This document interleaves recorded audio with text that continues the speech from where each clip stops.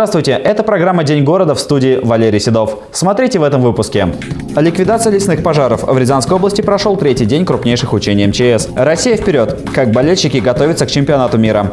И пройти, и проехать. Как автомобилисты испортили дворовую территорию. Крупнейшие учения МЧС проходят в Рязанской области. Они состоят из трех этапов.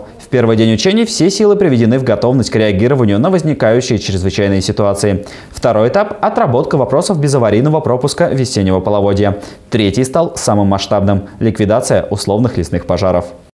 Согласно водным данным, в Рязанской области произошло сразу два лесных пожара. В Перелецком лесничестве у озера Уржинское обнаружен очаг торфяного пожара. Из-за сильного ветра огонь распространялся в направлении поселка Ласковский. Второй очаг возник на территории Спасского лесничества. Огонь двигался в направлении детского оздоровительного лагеря «Лучезарный». По задумке, возгорание обнаружил работник добровольно-пожарной дружины, который в ту же минуту позвонил в МЧС. Для разведки места пожара был поднят легкомоторный самолет. К месту возгорания направлены пожарные подразделения. Первыми на место прибыли работники государственного государственного бюджетного учреждения «Пожлес», которые с помощью трактора пропахали минерализованную полосу, остановив дальнейшее распространение огня и приступили к тушению. Условный пожар быстро распространялся, поэтому к месту были направлены подразделения пожарно-спасательной службы Рязанской области, курсанты Академии ФСИН России и Рязанского высшего воздушно-десантного командного училища, а также добровольные пожарные. Для мониторинга обстановки были привлечены беспилотные летательные аппараты. Совместными усилиями пожар быстро потушили. Практически мероприятия, связанные с тушением лесных пожаров и эвакуации населенных пунктов э, в случае возникновения угрозы для этих населенных пунктов. Задействованы у нас пожарная техника, специальная техника э, организаций УМВД, скорая медицинская помощь, э, государственное бюджетное учреждение, Пожлес, Министерство природопользования, э, а также другая техника специализированная.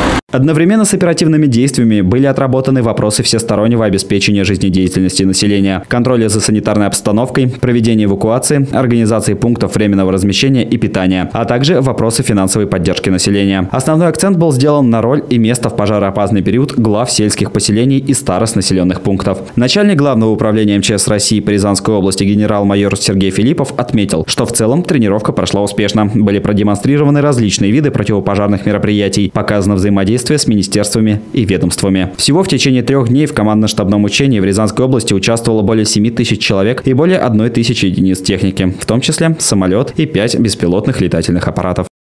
С приходом весны растаяли дороги. Сейчас на крупных городских трассах обнажаются ямы на асфальте, а дворовые территории страдают куда сильнее. Земля превращается в грязь, в которой то и дело тонут автомобили. К тому же под удар попадают и зеленые зоны. Выражение «не пройти, не проехать» здесь неприменимо. Несмотря на то, что дворовая территория на улице Новоселов буквально разрыта колесами автомобилей, движение здесь продолжается. Рядом с домом 7, корпус 2 располагается два детских садика, которым ведет всего одна дорога. Автолюбителям приходится делать большой крюк, чтобы доехать сюда с трассы. Поэтому они и сокращают путь по дворам. Здесь было очень э, уютно, э, много здесь детей было, много э, взрослых. Заселялся район планомерно, он сейчас заселяется. Но к сожалению, в упадок приходят те дома, которые выстроены так давно. По словам местных жителей, эти дворы ни разу никто не убирал. А ветки, которые спиливают службы города, могут лежать здесь неделями. Кажется, что про двор этот просто забыли. Что примечательно, сам дом является практически центром микрорайона Дашкова-Песочня, а земля это муниципальная. Жители уже неоднократно обращались в различные инстанции. Мы через сайт писали на сайт «Исправим вместе», мы писали, присылали фотографии. Э, в администрацию города несколько раз мы обращались тоже с фотографиями и административно-техническую инспекцию, но это уже достаточно давно. Один раз пришел ответ, что мы пока в плане благоустройства не состоим. Местные жители пытались и сами привести территорию в порядок. Они всячески огораживали территорию импровизированными баррикадами, однако машины это не останавливает. Застревают машины и по полдня сидят э, в этой грязи, пока кто-то их там не вытащит, уже более тяжелая техника. Потому что глубина достаточно большая, но размешана и, собственно говоря, были были, были случаи, особенно весной, когда тает снег. Раньше здесь была пешеходная зона. По словам местных жителей, летом двор очень красивый. Да и дом отгораживает дорогу от дворовой территории, поэтому шум от машин не слышно. Однако в настоящее время ситуация здесь плачевная. Стихийные парковки, грязь и непроходимые пешеходные дорожки. И как долго это будет продолжаться, неизвестно. Валерий Седов, Станислав Кудряшов, телекомпания «Город». Ежегодно зимой на улице города высыпают несколько тонн пескосоляной смеси. С наступлением весны весь этот объем остается на тротуарах и дорогах. Как от него будут очищать улицы нашего города, смотрите в следующем сюжете.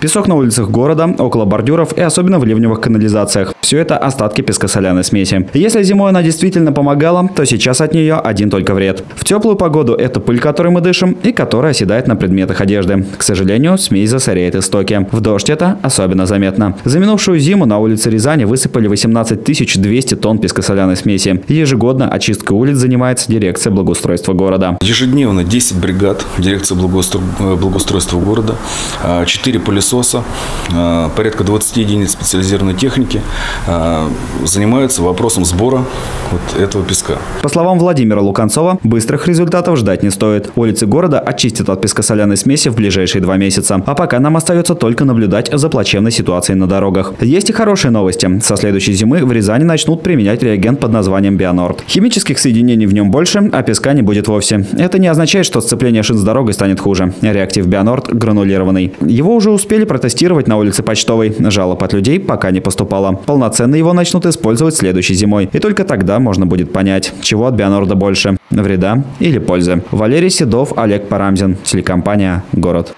Основной площадкой торжеств в День Победы станет площадь Ленина. Об этом сообщил исполняющий обязанности главы администрации Сергей Карабасов.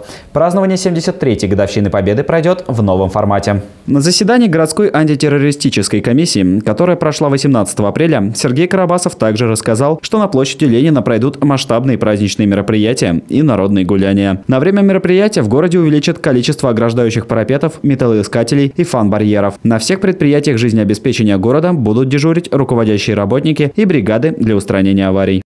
Жизнь в движении, путешествия, стадионы и, конечно, футбол. Меньше двух месяцев остается до чемпионата мира. Как Рязань готовится к этому событию, расскажет Мария Рудая.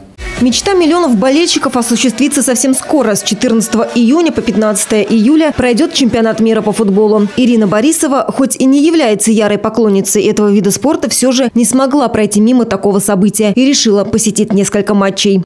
Я только с этой целью еду туда, чтобы приобщиться к этому действительно яркому, интересному событию для нашей страны, зрелищному. Хотелось бы наконец-то побывать в, на стадионе, почувствовать этот драйв, эту энергию, а, поболеть, покричать. В отличие от Ирины, ее коллега Сергей Чедакин является знатоком футбола. Он болеет за московские команды и сборную России. Вот я еду в три матча, э, на три матча в три города. То есть у меня э, Сербия, Коста-Рика, это Самара.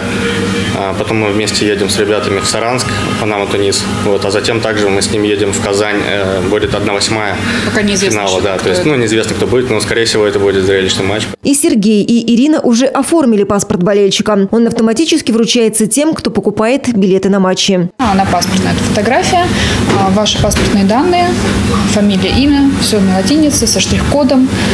Он дает право передвигаться а, до города, где собирается проходить матч, бесплатно на поезде, то есть пользоваться внутри, насколько я знаю, транспортом также бесплатно. Да. А для тех, кто приезжает к нам из других стран, Тебе это фактически виза. Рязань, как и вся страна, готовится к чемпионату мира по футболу. По некоторым данным, Россию планируют посетить порядка 1 миллиона человек. Наш город выгодно расположен рядом со столицей и сообщает общается со многими городами, где будут проходить матчи. А значит, гостей ожидается много. На сегодняшний день в городе работают 70 гостиниц и отелей, в которых смогут разместиться более 4,5 тысяч туристов. На время проведения чемпионата мира по футболу Отдельные гостиницы готовят специальные предложения. Для тех, у кого будет а, паспорт болельщика, а, будут действовать скидки. И скидки эти очень значительные. В принципе, наш город очень интересен для болельщиков, для туристов, для тех, кто не может себе позволить проживание в столице. Можно проживать у нас где-то порядка трех тысяч в сутки. Это будут отличные номера с, с комфортным проживанием. Рестораны тоже тоже ждут главное спортивное событие года и готовят свои сюрпризы. Например, рязанский обед с футбольной символикой. Ждет гостей и горожан целая культурная программа, подготовленная специально для этих дней. Начнется все с самого главного мероприятия, которое пройдет у нас 12 июня. в этот день э, весь город у нас, весь центр города превратится в спортивную улицу. Э, значит, на этой улице будут выставлены и, и специальные батуты, развлечения, концерты, будет проходить э, баскетбольный турнир «Железка». Для туристов разработаны специальные карты и маршруты, которые помогут сориентироваться в городе. А на железнодорожных и автовокзалах в скором времени появятся специальные баннеры и плакаты о Рязани. Мария Рудая, Ирина Ковалева, Олег Парамзин, Станислав Кудряшов, телекомпания «Город». В Рязани прошла масштабная строительная выставка. В ней приняли участие крупнейшие компании нашего региона. Среди них группа компаний «Стройпромсервис». Подробности далее. Главное – люди. В группе компаний «Стройпромсервис» индивидуальный подход при строительстве жилья является приоритетным. Главная задача – предоставить рязанцам доступные и комфортные квартиры. Сейчас «Стройпромсервис» возводит три жилых комплекса – Шереметьевский квартал, Окские просторы и Звездный. Ашемейский квартал является самой большой комплексной застройкой в городе Рязани и, наверное, в Рязанской области. На данный момент здесь постро... строится 9 домов, 6 домов построены и заселены. В ближайшее время будет возведена школа на 500 мест. Далее будет построен детский сад. Важно, что помимо доступной инфраструктуры, дома, построенные группой компании «Стройпромсервис», находятся в непосредственной близости от медицинских учреждений. На территории жилого комплекса «Шемейский квартал» недавно открылся медицинский центр имени Павла Григорьевича Швайка. Этот центр является многопрофильным. Сюда может обратиться совершенно любой человек, потому что здесь принимают врачи различных специальностей. Для тех, кто любит природу, есть возможность приобрести недвижимость в жилом комплексе «Окские просторы». Свежий воздух, прекрасные пейзажи и, конечно, комфорт – все это станет частью вашей жизни. Окские просторы находятся в ближайшем пригороде э, города Рязани. Здесь малоэтажная постройка. Здесь э, на данный момент построены два дома.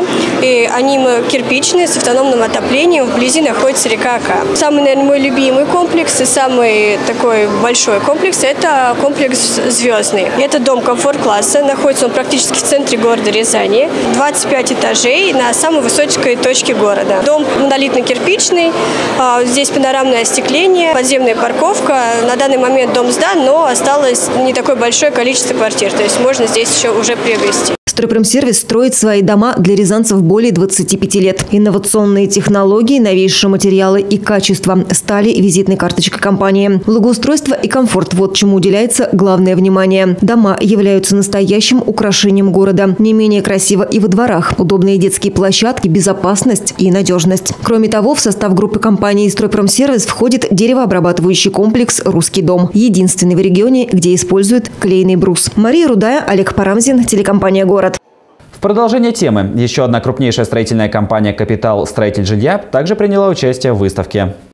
Безопасность, комфорт и надежность – вот основные принципы работы компании «Капитал. Строитель жилья». За 10 лет работы компания завоевала доверие потребителей, а также вошла в число трех лучших и крупнейших застройщиков региона. За эти годы было построено более 500 тысяч квадратных метров жилья. Компания представила свои разработки на крупнейшей строительной выставке. Среди посетителей был министр строительного комплекса Рязанской области Вячеслав Меньшов. Он познакомился с революционной технологией планировки квартир. Это целая жизнь в стиле Smart. Жилье, спроектированное по этой технологии, предусматривает использование всего пространства квартиры. Каждый сантиметр продуман до мелочей. Это так называемые полезные квадратные метры. Для тех, кто не любит заниматься ремонтом, компания предлагает квартиры уже полностью отделанные. Заходи и живи. Удобная и развитая инфраструктура. Близость к остановкам общественного транспорта и образовательным учреждениям. Теплый уютный дом нужен, конечно, каждому, а еще лучше, когда рядом с домом можно отдохнуть на свежем воздухе. Дворовые территории территории продуманы таким образом, что там смогут провести интересный досуг не только дети, но и взрослые. Будут себя чувствовать комфортно и люди с ограниченными возможностями здоровья. Входные группы в домах строительной компании «Капитал. Строитель жилья» без ступеней. Большая парковка на закрытой территории и круглосуточное наблюдение делает жизнь горожан не только комфортной, но и безопасной. Мария Рудая, Олег Парамзин, телекомпания «Город».